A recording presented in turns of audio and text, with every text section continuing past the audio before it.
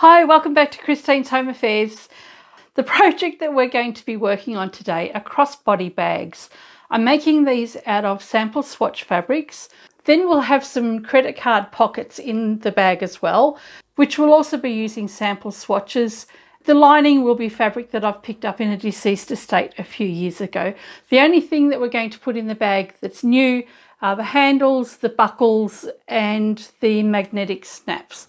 So no zippers involved today. It's all just simple sewing crossbody bag made with two fabrics and all rescued or recycled or repurposed fabric. Hang around and we'll do this together. Okay, I have a bunch of swatch fabric all sorted here. All I've done is taken them off the sample card and put them into pairs. With this particular project, I'm going to be using two pieces of each of the samples and Thankfully, they're both the same size, so that makes it a lot easier for me.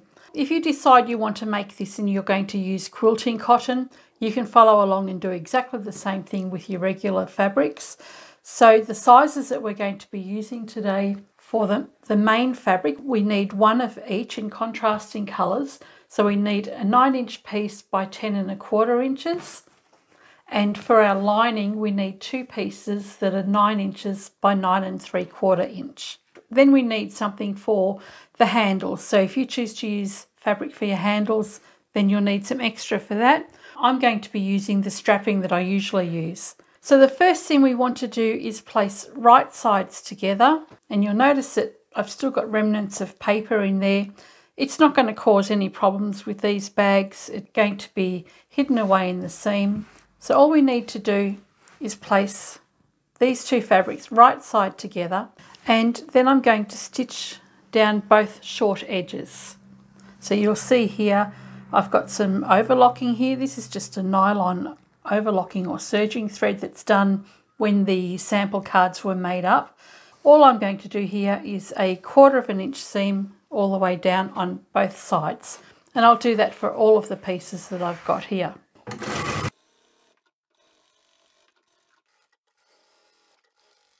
With the short edges stitched together, I've just got a little tube here. We need to top stitch the edges that we've just done.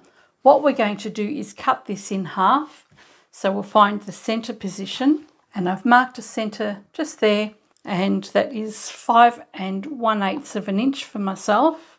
Now, if you're just using regular fabrics, don't bother about cutting your fabric at 10 and a quarter inches, just cut it at 10 inches. It's a lot easier to work things out. And then you'll find the halfway point, which would be five inches. So once we've sliced this in half, we've got two sections here with opposing fabrics. I'm going to take this to the machine now and top stitch. When I sew up swatch sample fabric, I've usually got lots and lots of different colours to put together. These are some that I've been working on this morning. I use exactly the same colour thread for every single one. So I've just got a grey thread in here as my top stitching and usually grey uh, or even a blue grey is fantastic for blending in all of the top stitching of these bags. So it saves a lot of time when you're batch sewing to just use one colour thread. What we want to do now is top stitch this fabric.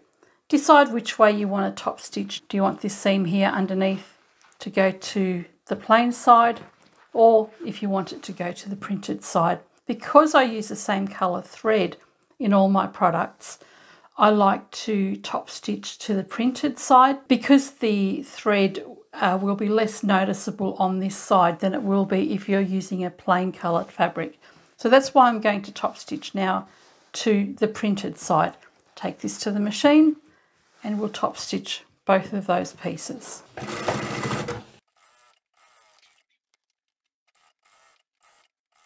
So there's my top stitching with the grey thread and you'll see that the grey thread doesn't look at all bad. Even when you lose the bobbin race just here and you've got doubled up thread, it still doesn't look bad. So for me, it makes a design feature out of the product. It's at this point where if you're sewing to sell and you want to put labels on, then put your labels on the bags. Now, I'm putting my labels on the outside of my bag and this is the orientation of my bags. When I put them together, this will be one side and this will be the other side. The patterns will be opposing each other. So decide where you want to put your labels. I can never decide the placement of my labels. What I usually do is I'll just take one and place it over the top of the fabric like this and see which way I like it better. Most of the time I tend to put my label over the top of the printed fabric. For, I don't know, I just think it actually looks a little bit better. If you're sewing to sell and you want to put your labels on the outside, then pop those on before you go any further. Some people might like to put their labels on the side seam. It's up to you where you put your labels. Uh, now, there have been a few viewers that have told me they don't like my labels on the outside of my bags. I do occasionally put them on the inside, but I find that they sell much better with my label on the outside. A lot of my customers buy because they like the story behind my bag, so they want that story visible on the outside of my product. I do tend to agree, sometimes the labels look terrible on the outside, but for the most part, these labels actually help sell my product when they're on the outside. There we have the bags with the labels already stitched on. What we want to do next is cut our lining. I have my two lining pieces just here and my two main fabrics and the lining and main fabrics are cut to exactly the same size. I'm going to put a card slot inside the lining on one side so I want to be able to put some credit cards or business cards in there and I'm just going to place that right across the entire width of the lining fabric. The width of my fabric here is 9 inches and I've got a piece of fabric 9 inches wide and 14 inches long. We're going to fold this in half and then we're going to stitch right along that top edge and that's all we're going to do. We're going to leave both uh, short edges open. We're going to stitch along the top, turn it the right way around and then we'll do a top stitch along there and we'll also just do a top stitch on the folded edge as well.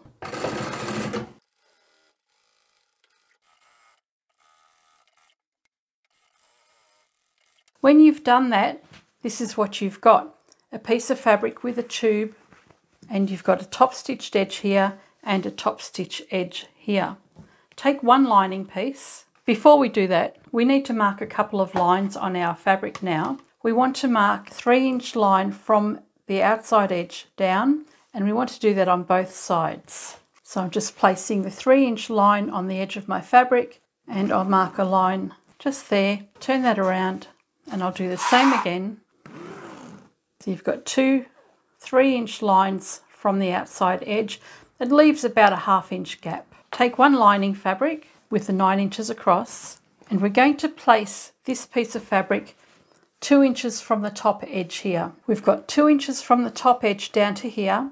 We don't want to stitch this flap down because we want to use this to insert our cards, but we are going to stitch straight across both of these drawn lines. So we'll go and do that now.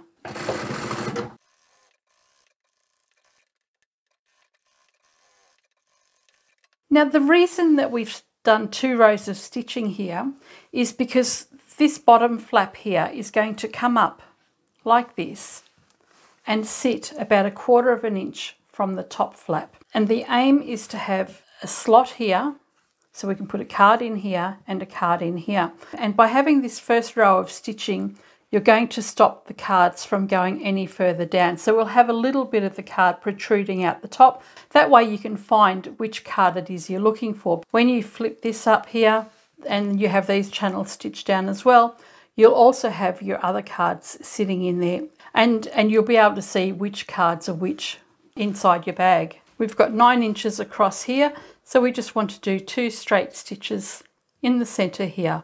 So we'll mark three inches from the outside edge to here, three inches from the outside edge to here, and then we'll stitch two straight lines. We can take this to the machine now and just stitch straight down there. You can, if you want to, go and do just a stitch down along the sides just to hold it in place. When you're stitching along here, we've got these edges here where we have stress points when we put the cards in and out. Back stitch at the top, back stitch there as well, and back stitch at the bottom, and do the same at the top there on that join there and at the bottom again.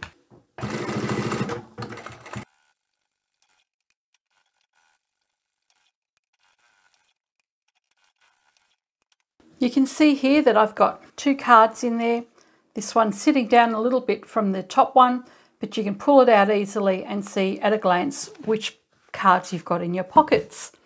And we'll be able to fit them on these two sides as well. Now before I put my lining pieces together, I plan on having a magnetic button at the top here. I haven't got my lining piece stabilised and depending on the strength of your lining piece, you might want to either stabilise it or just put a little piece of fabric at the back. I've got just a two to three inch piece of fabric here. It can be any scrap fabric. All I'm going to do is stitch this down along the side edge there.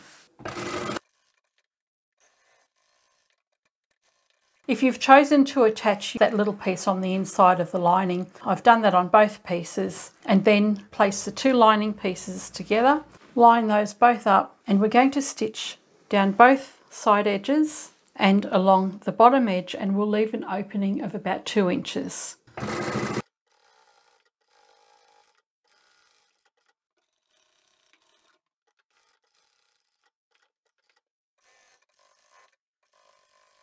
When you've sewn your lining piece together, we've got our opening at the very top there and we've got a small opening at the bottom here for turning through later.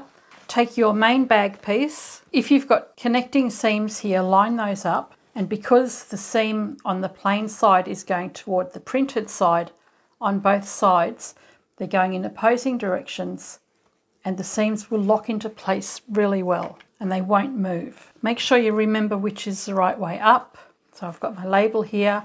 That's the top of my bag. We're going to stitch the side edges and the bottom edge. Where I have seams that join each other, I like to go over that as well because it creates a bit of bulk. So I just like to make sure I triple stitch that just there. Stitch down the long edge and straight across the bottom to close that up. And we'll leave the top open.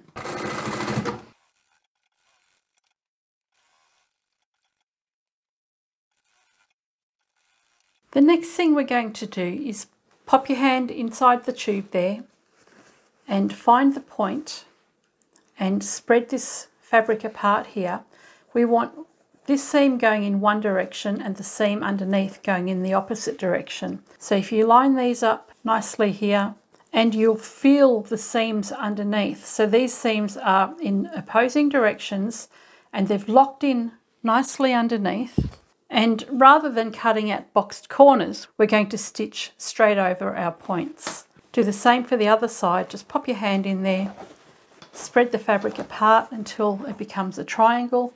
And this seam here now is going to my right. So I want the one on the opposite side to go to my left. And I'll just manipulate it so that it locks into place. Then I know that it's lined up well. I just want a very small boxed corner. I'm going to use the lines on my sewing machine as my guide and you've got your quarter inch, half inch, three quarter inch line segments on your stitch plate. I'm going to use a half inch line and line up the corner of the stitching, not the corner of the fabric, but the corner of the stitching just there with that half inch line on my stitch plate and then I'll do a half inch stitch straight across there. I'll do the same for my lining before I do that, if you don't want to pinch your corners together like this and you'd rather measure and cut your squares, take your half inch measuring gauge and measure a half an inch from the stitching line on both sides of the corner and you'll cut this section out, then pinch the corners together and stitch it closed. it, it is actually quicker just to spread this apart, have your seams going in opposite, opposite directions, just manipulate them until they're together and then you'll stitch half an inch down. We'll take that to the machine and we'll sew all those corners closed.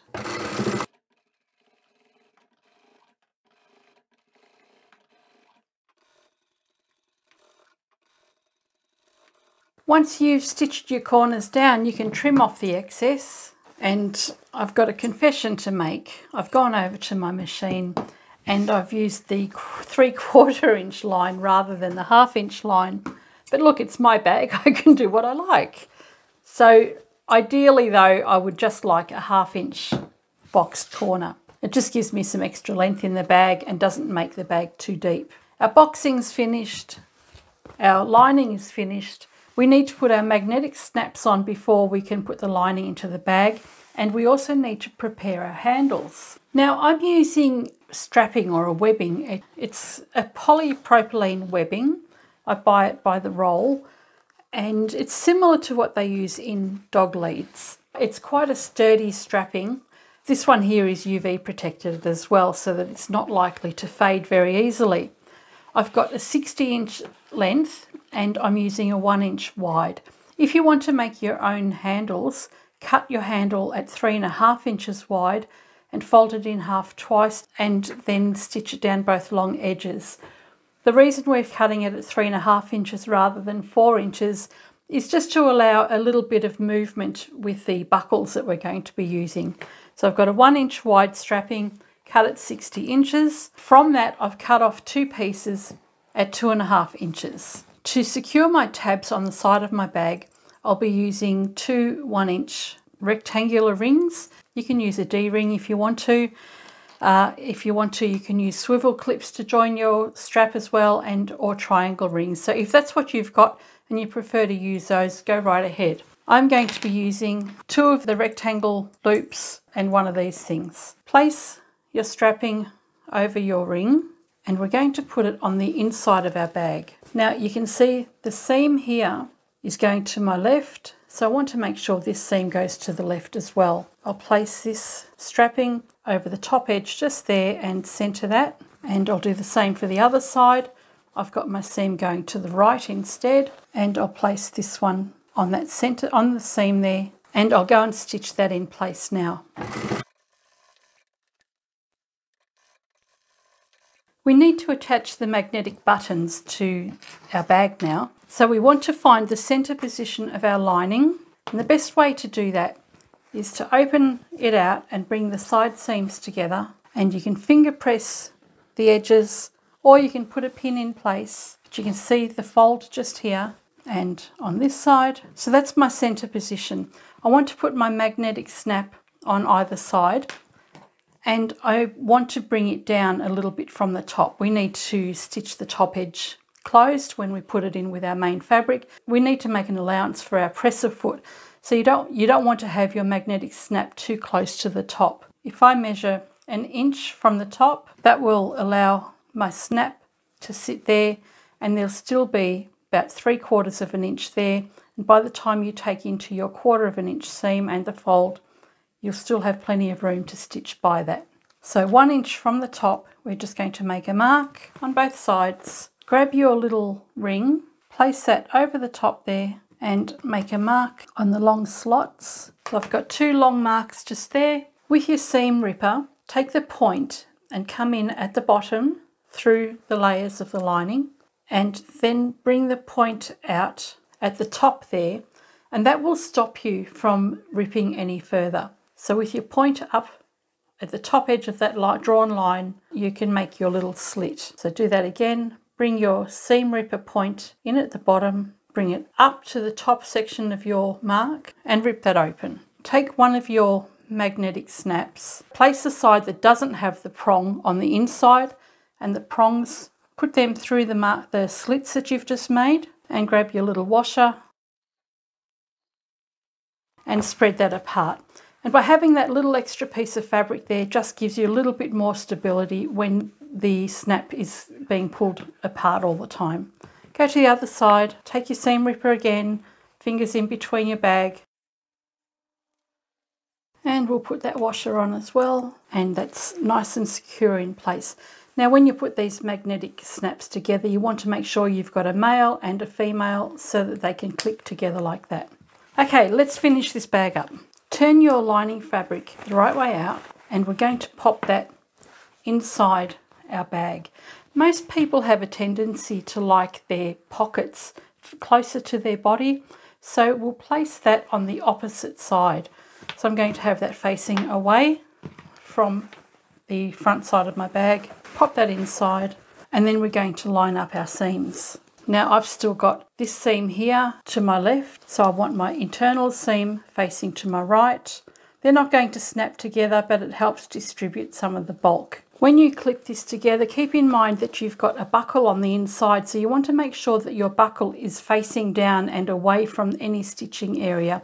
You don't want that sitting up here and then you'll stitch across it and break your needle. So just make sure your buckle is, or your ring is facing down. And then just distribute the fabric evenly all the way around. And we're ready now to take this to the machine and close up the whole top of the bag and then we'll turn it through and we'll do a top stitch. Some people when they're making these bags actually prefer to close up their opening at the top here.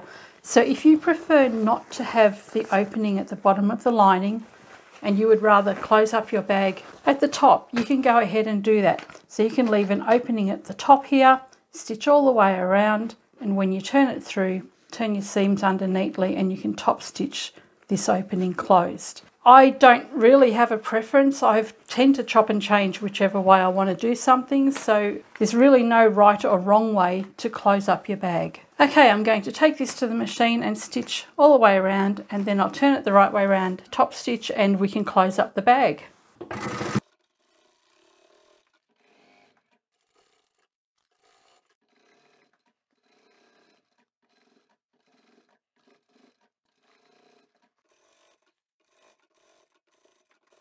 When you finish stitching the top edge of the bag together, you can turn it the right way round and poke out all the corners in the base of the outside of your bag. You don't have to worry about it with your lining because we'll do that when we finish the job later. We're going to now top stitch and when you do that, where the tabs are for the handle, you just want to go over that a couple of times just to secure that properly. And if you're happy with your bag, then you can close up that bottom opening as well. You can see here by matching up the seams and overlapping the seams when we clipped it together how nicely they line up. Same in the boxed corner there. We've got a seam on the side, we've got the seam on the bottom and the boxing just lines up really well. Isn't this bag looking really cute? I love the colour. I'm going to top stitch this now and then we'll finish up with the handle. I like to turn my bag inside out when I'm about to do the top stitching. I find that the top thread always looks nicer when you're stitching. It helps you see the outcome of your top stitching as well.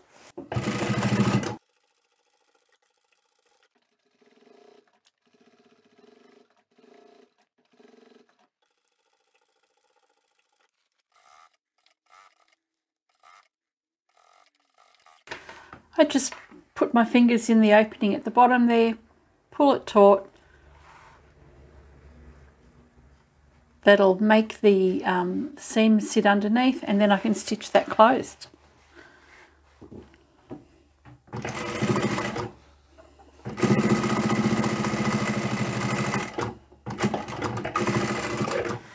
And once we've put our crossbody strap on, the bag is completely finished. Now, if you're using strapping, you want to seal the ends because they do fray. So just get a match or a lighter, melt the edges to prevent it from fraying any further. Take your strapping and place it over your slider, over that center bar. Then we can stitch this closed. Now, depending on whether your strapping or webbing frays, if you want to, you can fold it over again and then stitch it closed and that'll get rid of all the raw edges but because I've got this fused, it should be fine. I'm just going to do it in a single layer. If you've made your handles, then you will need to just turn that edge over to hide the raw edges and stitch it closed. Okay, top stitching is done. This section of your strap is ready. Now, this part always confuses me. I always forget which way I'm supposed to put my handles on. What I'm going to do here is have this stitched area here facing up and just out of the way for the time being. And I'm going to keep the same side of my handle faced up and I'm going to feed that through the, the ring and that same face here is going to go through the bottom of the ring and the top of the ring. And there I have the inside section of the strap hidden away and then you take the other side of your strap and you bring that from the outside in and we'll stitch that closed and then our bag's finished. And there we have it, a very simple little crossbody bag just made with two little pieces of sample swatch fabric, fully lined, a magnetic snap on the inside to keep the bag closed and then you have that little card slot to keep any credit cards and business cards. Plenty of room in there for your phone and a purse. There we have it a whole heap of uh, crossbody bags completely finished and they were all made out of sample swatch fabrics similar to this. You get quite a few fabrics on the card, rip off all the papers and the glue and then start putting them together. So out of the swatch sample fabric I've managed to make 11 bags so far out of just that one run of colours and here are some of the colours that we've got. So we've got the blue, the orange, the black and the grey, and behind it you've got the same colours. So you've got the pattern at the top the plain at the bottom turn it around and you've got the opposing colours. So I've just used two pieces of fabric to put all of those together. I did have a few extra pieces of fabric left over but they weren't the full size like this. So what I would have is a full sheet and then a half sheet. So what I've done is put a full and a half sheet together and I'm going to make a smaller wider crossbody bag out of this so I'll get another three bags out of that and then there's one that I'll make just into a little zippered toiletry bags. I'll end up getting about 15 products out of just that one sample board. Inside the bag we have our uh, magnetic clasp and then we also have our little pocket for our credit cards or business cards and just a good handy storage area for our phones and maybe a small purse and a fully adjustable handle. And that will sit over your shoulder to whichever length you'd like. Okay, now pricing. I've already put two of these in the shop. They've both sold within the first couple of days of me putting them on display in the shop. I sell them for $30 each, uh, $30 Australian. I haven't charged for the fabric because my policy is not to charge for fabric that I get for free. So all I basically charge is my labour and the strapping, my labels and the magnetic clasps and the little rings. There might be less than $4 worth of product in each of my bags. The rest of it is labour. Some people have mentioned that I should actually be charging more, even though I get the fabric for free, I should actually be charging for the fabric because I still have to process it. I've got quite a hefty labour rate and that is all built into what I actually do. I do take into account the time that it takes me to make all of these products as well. I do make sure that I don't lose out anywhere. Anyway, these are $30 each in the shop. I think they're going to do really well because I have had so many people ask me about crossbody bags. Every time they look at the other bags that I make, they ask me for crossbody bags. I just really haven't had the time to make many. But with these sample swatch fabrics, just having to put a couple of colours together, it's gone very, very quick for me. I haven't put zips in, so that's even quicker. And the magnetic clasps are really simple to put in as well. I think this is also going to be a great way for me to use up those hundreds of swatch boards that I still actually have out in our studio. I hope you've enjoyed this video. Let me know in the comments down below what you think of these bags and I shall catch you next time. Bye for now.